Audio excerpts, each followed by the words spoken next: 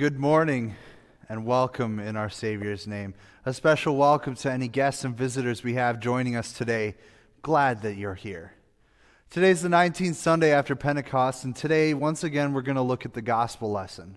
As Jesus approaches Good Friday, as he approaches the end of his earthly life and ministry, he's once again Uh, continuing that conversation in the synagogue with the Pharisees, the, the scribes, and, and the crowds there in the synagogue. And as he, as he discusses, last week he talked about the parable of the tenants, and now he's moving on to the parable of the marriage feast. And these parables really are meant to be spoken about together. And so we'll look at the parable of the marriage feast this week as we look at what will the life to come look like and what will judgment day look like. It can be nerve-wracking to ponder these things, and yet we as Christians, we live in the hope and the promise of God. So that'll be our, our conversation for today. This morning, uh, we make our beginning with our opening song Come, now is the time to worship. Let us take a, uh, a moment to set our hearts and our minds on things above as we prepare our hearts for worship.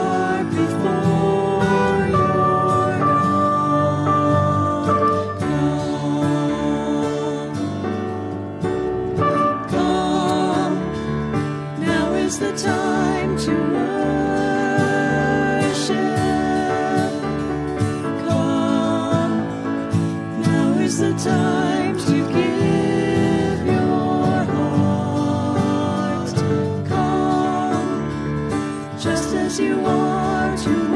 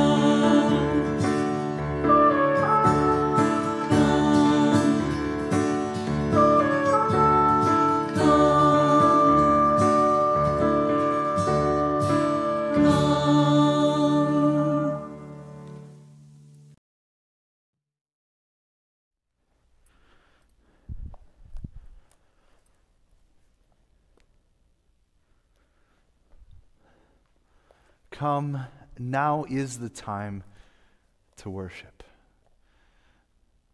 It's uh, as we come before the altar of our Lord that we prepare our hearts for worship, that we recognize that we come here as beggars in need of God's love and forgiveness. But we come here and God meets us in this place. He meets us here with his good gifts in word and sacrament. And just as such, he meets us here once again this morning. And so we make our beginning in the name of that God, that God who comes here and dwells in our presence, in the name of the triune God, the name of the Father and of the Son and of the Holy Spirit. Amen. Our opening sentences come from Psalms 9:33 and 122. I was glad when they said to me, "Let us go to the house of the Lord." I will be, I will be glad and exult in you.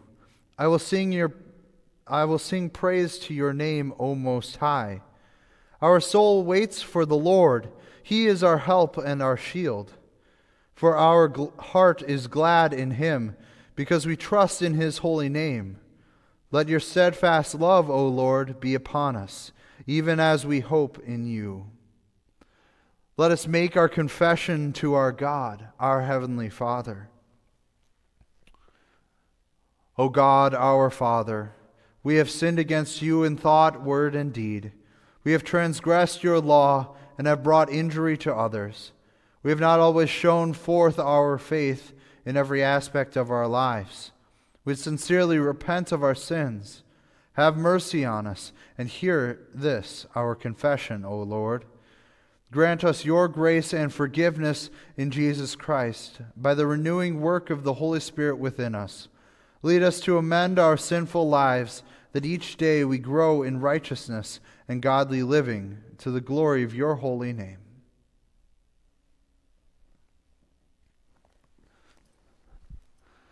Well, the good news for you today is that the Lord hears our pleas and accepts our prayers. To each of us, our Lord promises forgiveness, life, and salvation. And so, as a called and ordained servant of Christ, I forgive you all of your sins in the name of the Father, and of the Son, and of the Holy Spirit. Amen. The Lord be with you. Let us pray.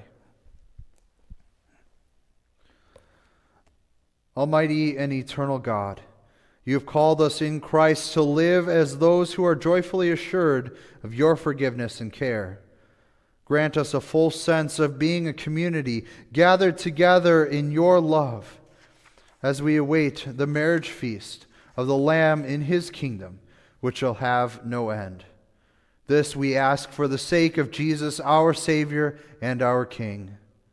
Amen.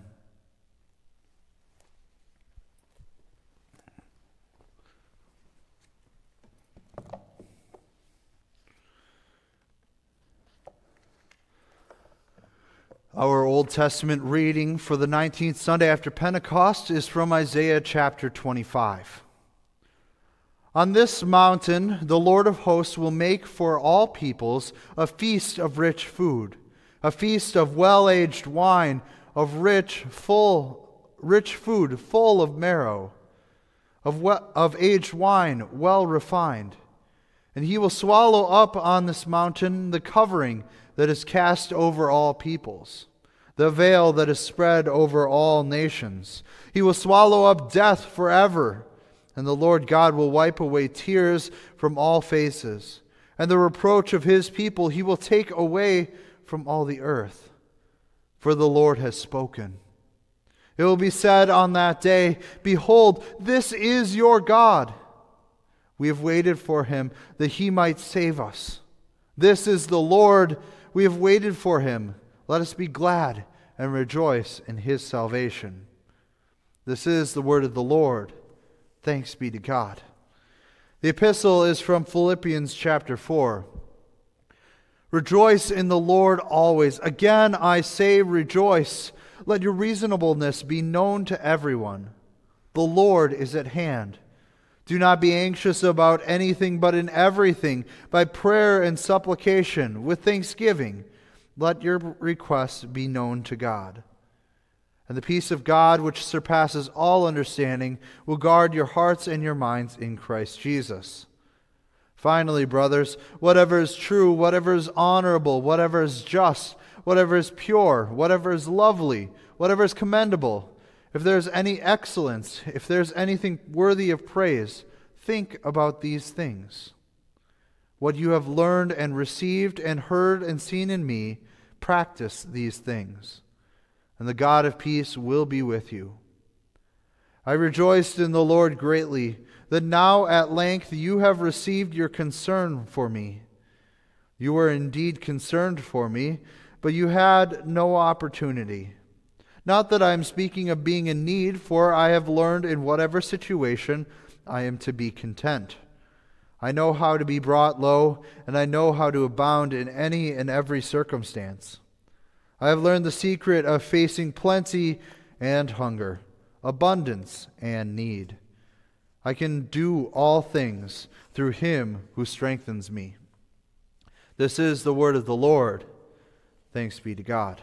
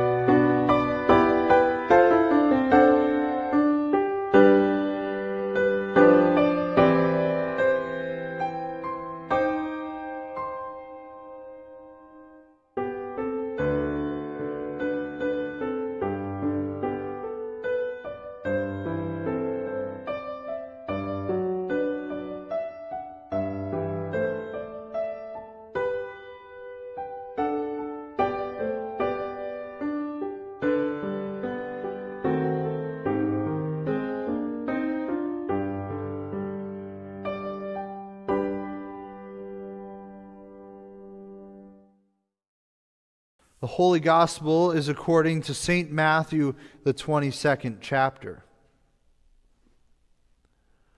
Again, Jesus spoke to them in parables, saying, The kingdom of heaven may be compared to a king who gave a wedding feast for his son, and sent his servants to call those who were invited to the wedding feast.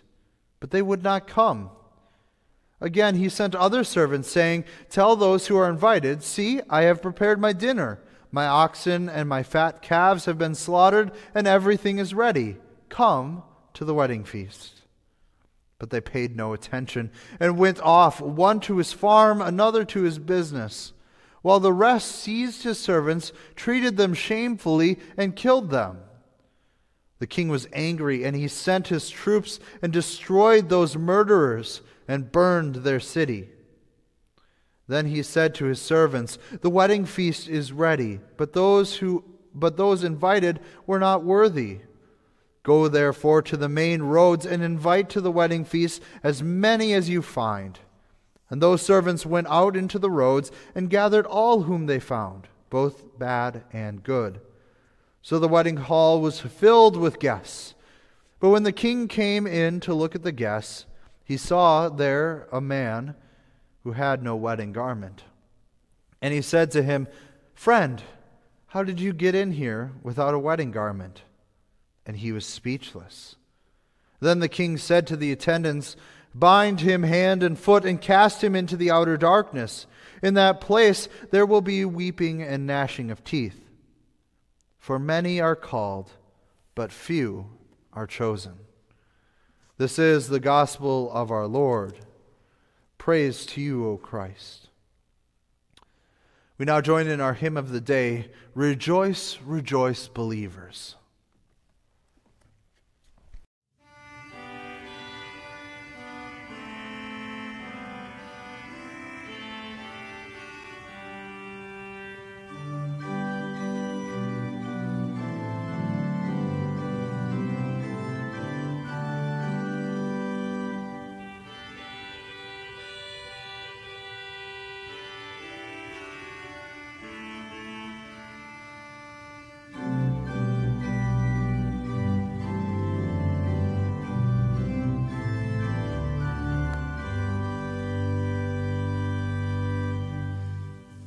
Rejoice, rejoice, believers, and let your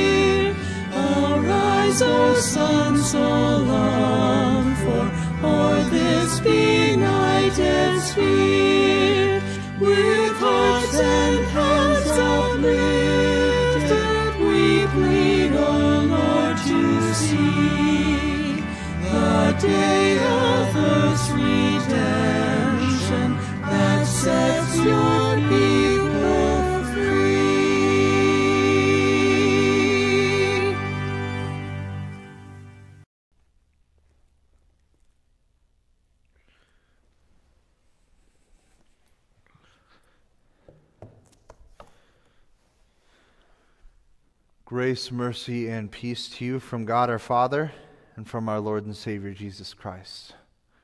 Amen. This morning in our gospel lesson, Jesus tells of another parable. And this parable really is meant to be paired with the previous parable.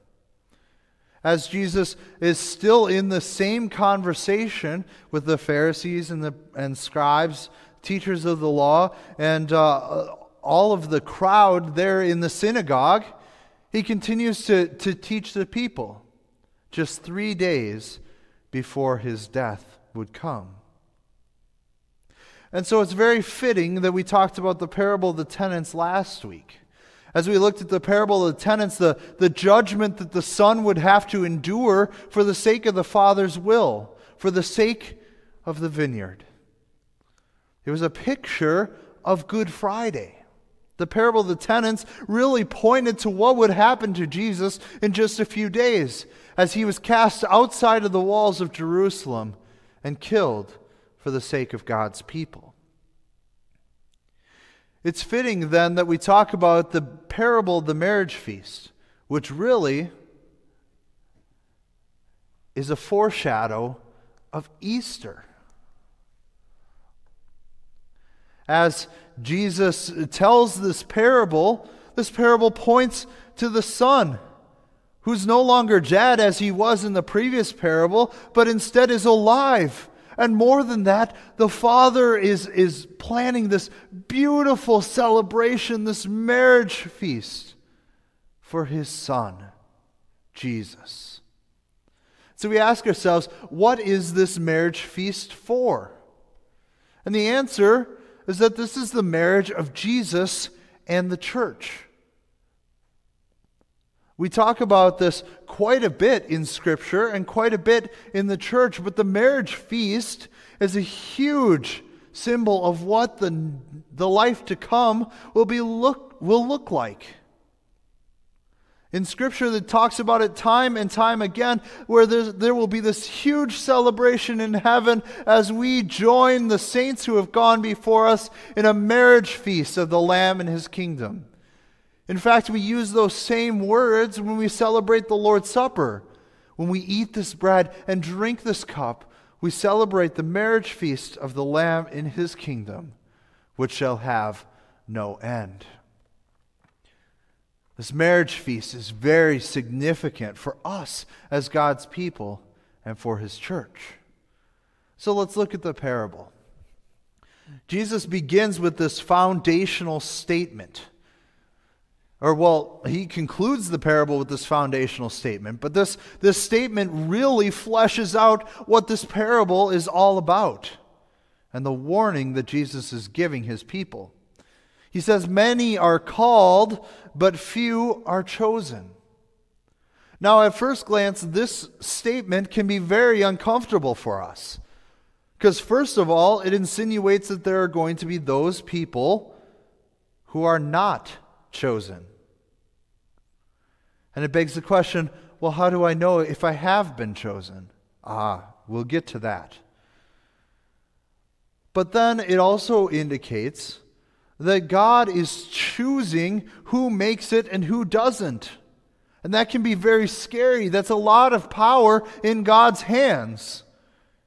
And it's a lot of trust that He calls us to give. And so, in order to really comprehend what exactly this phrase is about, let's look at the parable and let's flesh this out a little bit. So, in this parable, Jesus describes three different kinds of people, three different groups of people. And these three different people really are, are three different responses to God's love and salvation as God extends the invitation to the marriage feast, as He extends His gift of grace, forgiveness, life, and salvation to His people, there are three different ways that people respond.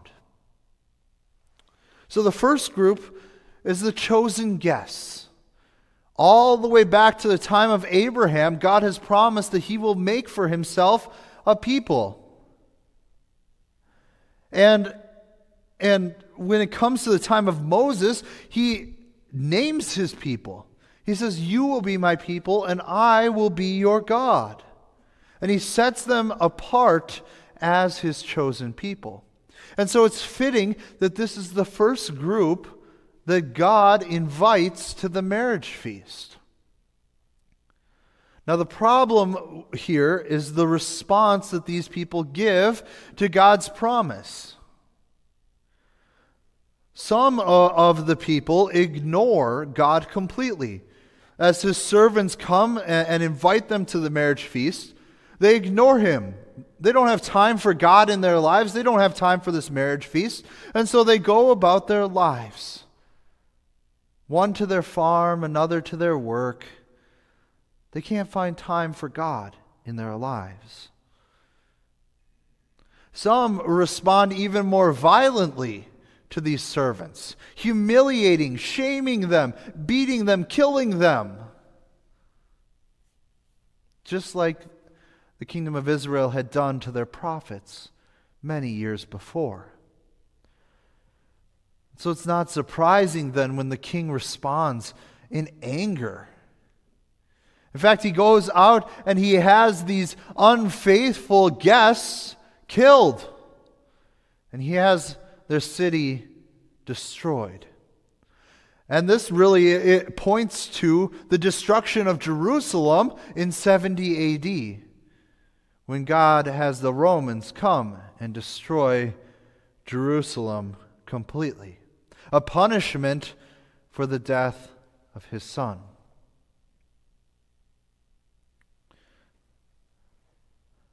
So, after God's chosen people fail to, to be receptive to the call, to the promise, to the hope that He lays before them, He extends the invitation to everyone.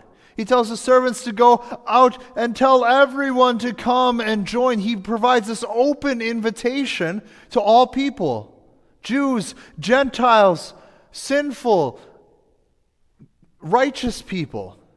It doesn't matter. He extends the invitation to all people to come to his marriage feast. And it brings us to the second group of people now the guest who comes into the marriage feast without wedding clothes. See, because of what Jesus did on the cross and because of his sacrifice, even us sinners, even us broken people, can enter into the family of God here in this place. He invites us, not just the Jews, but the Gentiles, us included. And as we gather, we prepare, we wear the wedding clothes that He gives us. And so, this guest without wedding clothes really is a Christian who has fallen away, a believer in God who has fallen away from God's promises. And so, an important part of this then is talking about these wedding clothes. So, these wedding clothes are the robes of Christ's righteousness. As, as Jesus goes to the cross and he dies for our sins, his merits, his works save us. We are saved by the righteousness of Christ. And as he dies on that cross, he gives us the promise that his blood will cleanse us from all unrighteousness and that we will be clothed in robes of righteousness. This is the way that Christ describes those robes of righteousness. These are the wedding clothes that allow us into the banquet of heaven. And it's these clothes that we are given in baptism. We receive our wedding clothes as a free gift by the Holy Spirit in baptism. As we are baptized, the Holy Spirit works faith within us, and we are given a new life, new clothes, the robes of Christ's righteousness laid over us. That's why in baptism, so often you see the child wearing a white dress or a white garment. This is a, a, reminder that they are now clothed in Christ's righteousness. And it's the, these wedding clothes that permit us, sinful people, to be at the wedding feast in heaven. See, because when God looks at us, He doesn't see broken, empty, dirty rags on us, but He sees the works of His Son. He sees the robes of righteousness that we are clothed in. And as He looks at us and sees that we are redeemed by Christ, He welcomes us into the banquet. It's an incredible, incredible gift. But as we circle back around then to this, this guest who's in the feast without wedding clothes, we have to wonder what is going on here. Well, this guest has chosen not to wear his wedding clothes. He has been given them, and yet he has rejected the faith that the Spirit has given. He has rejected these robes of righteousness. And thus, he has rejected the Holy Spirit himself. This is why he receives such harsh judgment. It's not because God has rejected him, it's because he has rejected God. And so his punishment is his own doing. As he has rejected God, yes, God cannot force him into acceptance. But his rejection has left him out in the dark where there's weeping and gnashing of teeth. Fortunately, there's a third group the faithful guests. These are believers who have not fallen away from the faith, but are active in their faith. These are the believers that are clothed with the robes of righteousness, have embraced God's gift of love and salvation. This is who we want to be. And this is who we are because of our baptism.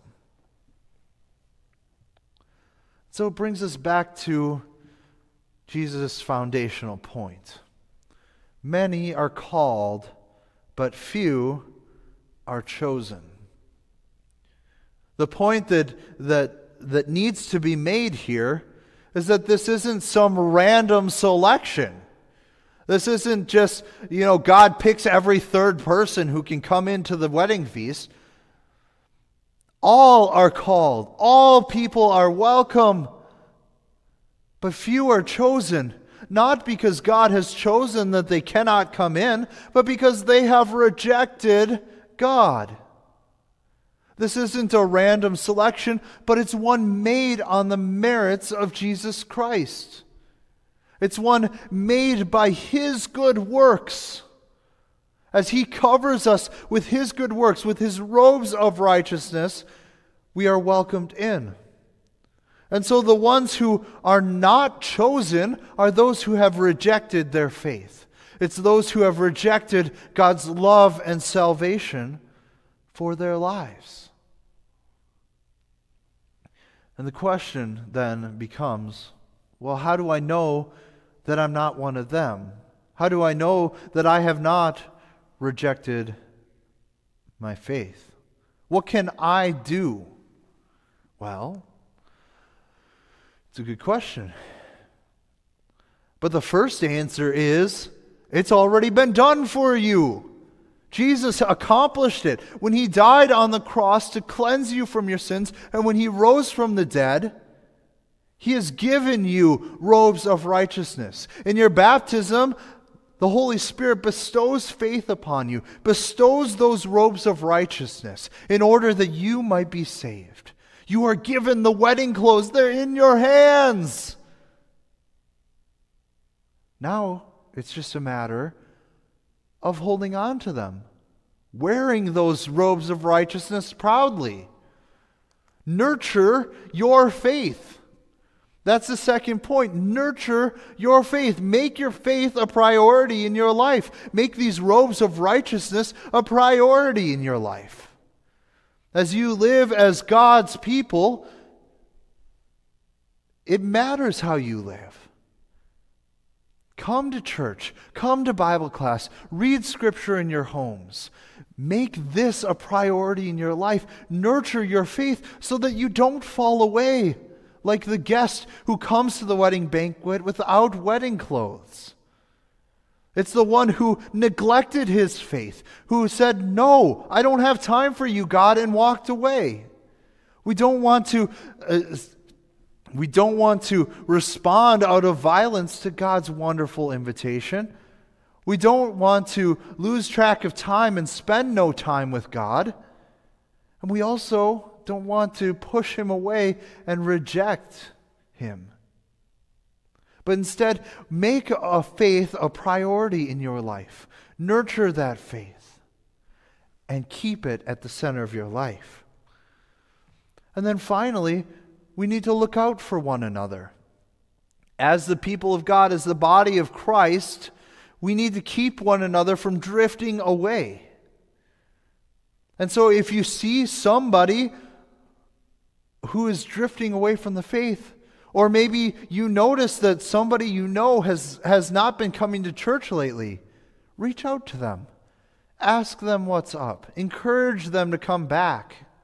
We don't want others drifting away from the promises of God and suffering the consequences. It's so important that we recognize God's gift for our lives and take that seriously. And as God's people, we're called to look out for one another. As we look, as we do all these things, we recognize the promise, the love that God has given us. He has invited us to the marriage feast of the Lamb in His kingdom, the eternal life that awaits for us because of Jesus' death on the cross. And as we look to that promised day, there should be so much joy. When we join the Lamb in His kingdom, when we are reunited with God once again, it will be a joyous day. No more pain, no more sorrow, no more death, no more sin. We will be with our God once, and again, once again forever. Amen. Amen. Now may the peace which passes all understanding guard your hearts and your minds in Christ Jesus. Amen. As we, as we bring this reflection on Scripture to a close, I, I want you to take a minute now and think of one person who you have not seen in a long time. One person who needs encouragement. Reach out to that person. Okay? Write their name down now. And reach out to that person this week and just check on them. See how they're doing. See if they see what you can do for them. Make sure that they are remaining in the faith, that they are growing and, and encouraged by the love of God. Remind them of whose they are in Christ Jesus, that they have the robes of righteousness and encourage them to take advantage of the many opportunities we have to grow in our faith. Come to church, come to Bible class, read scripture in your homes, seek out opportunities to nurture faith, and encourage other people to do so as well. So if you haven't already, please write down that name. Put it up on your refrigerator or somewhere where you'll see it. And be sure to call that person this week. Just reach out to them and see how they're doing. Having heard God's word, let us uh, confess our faith in the words of the Apostles' Creed. I believe in God the Father Almighty, maker of heaven and earth, and in Jesus Christ, his only Son, our Lord, who was conceived by the Holy Spirit, born of the Virgin Mary, suffered under Pontius Pilate was crucified, died, and was buried. He descended into hell. The third day he rose again from the dead. He ascended into heaven and sits at the right hand of God the Father Almighty. From thence he will come to judge the living and the dead. I believe in the Holy Spirit, the holy Christian church, the communion of saints, the forgiveness of sins, the resurrection of the body, and the life everlasting. Amen.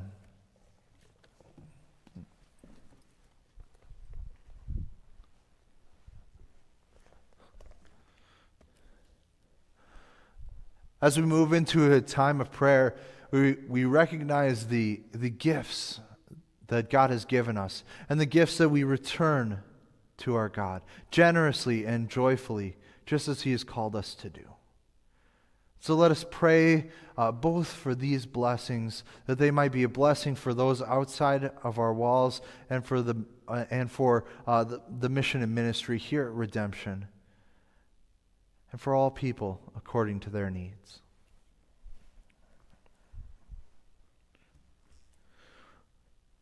Lord, you are the King of everything, and you are so generous with our lives. You have invited us to the marriage feast of the Lamb in his kingdom, a tremendous blessing that we could never fully comprehend until we are invited into your gates at the end of days. We give you thanks for the many ways that you bless us and care for us in our daily lives. We ask, Lord, that you would bless these gifts that we return to you, that they might be used for mission and ministry and for your purposes throughout the world. In your Son's name we pray. Amen. We pray for the church, for the leaders of the church, for all pastors and missionaries for, for those preparing for church vocations, and for those considering full time church service. Let us pray to the Lord. Lord, have mercy.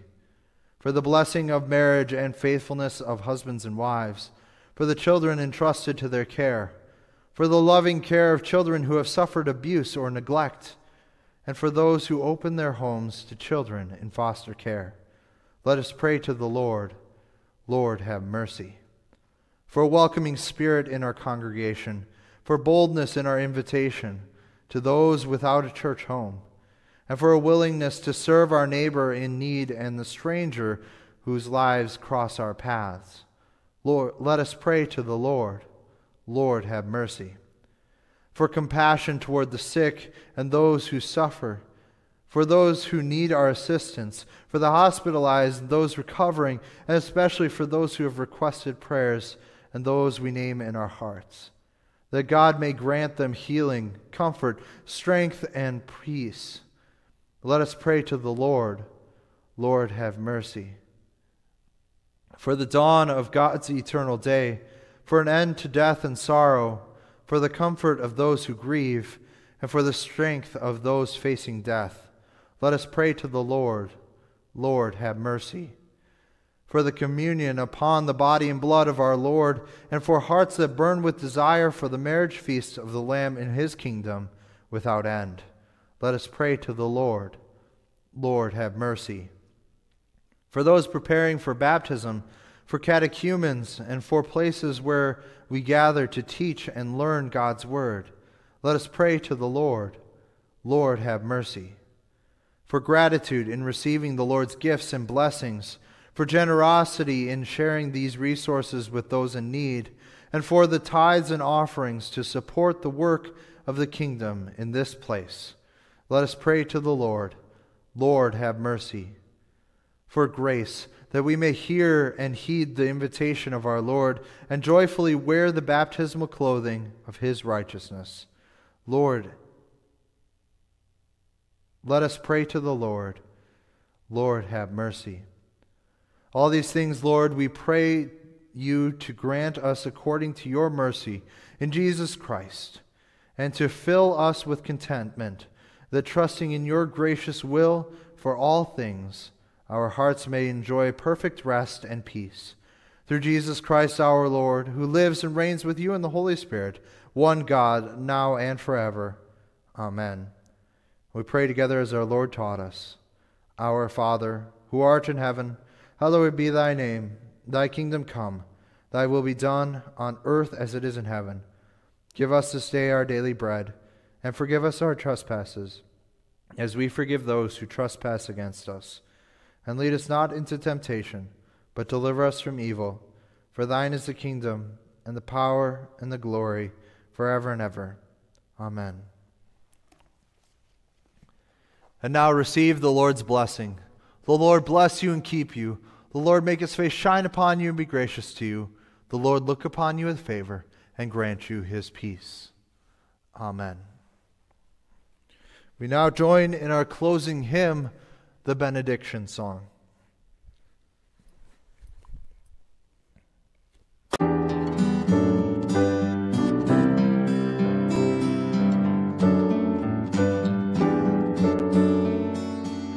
May the Heavenly Father and the grace of Christ the risen Son and the fellowship of God the Spirit keep our hearts and minds within His love. And to Him be praise for His glorious reign from the depths of earth to the heights of heaven. We declare the eternal, the King of kings.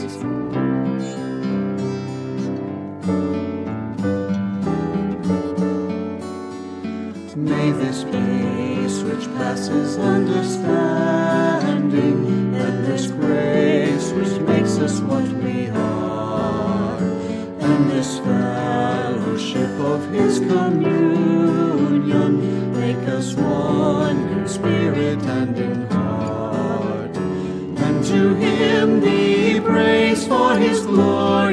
reign. From the depths of earth to the heights of heaven, we declare the name of the Lamb once slain, Christ eternal, the King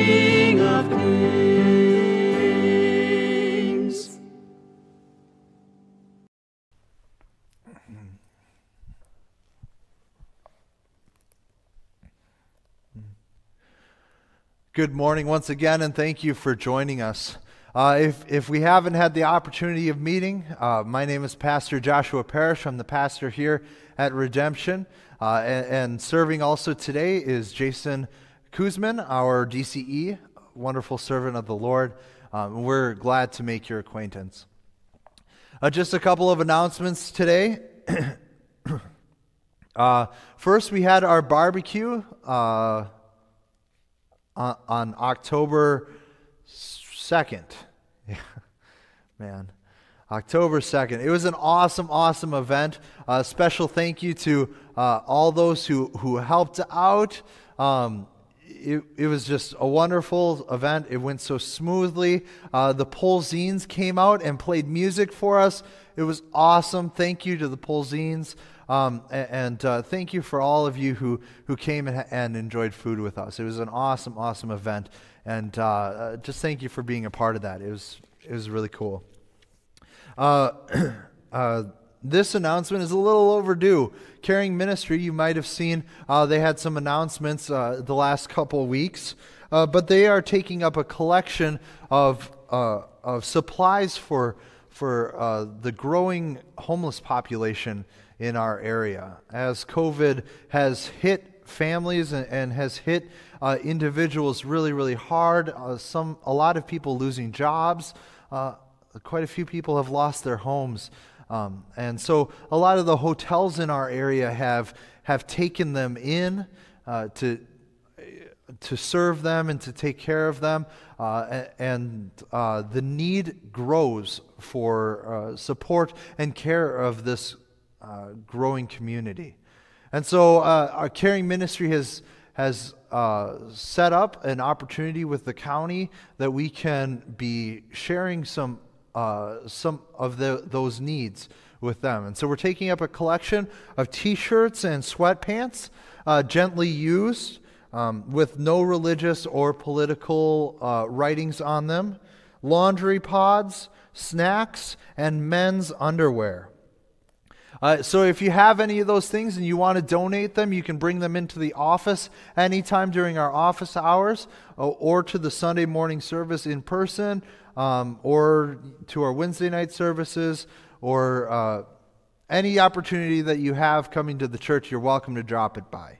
Uh, if you uh, if you don't have any of those things but you want to help out, you're welcome to donate money, and the caring ministry will take that money and go ahead and shop then for uh, those needs. That's all I have for today. I pray God's richest blessings on you as you go about this week as a loved child of God, awaiting the marriage feast of the Lamb in His kingdom. Go in His peace. Amen.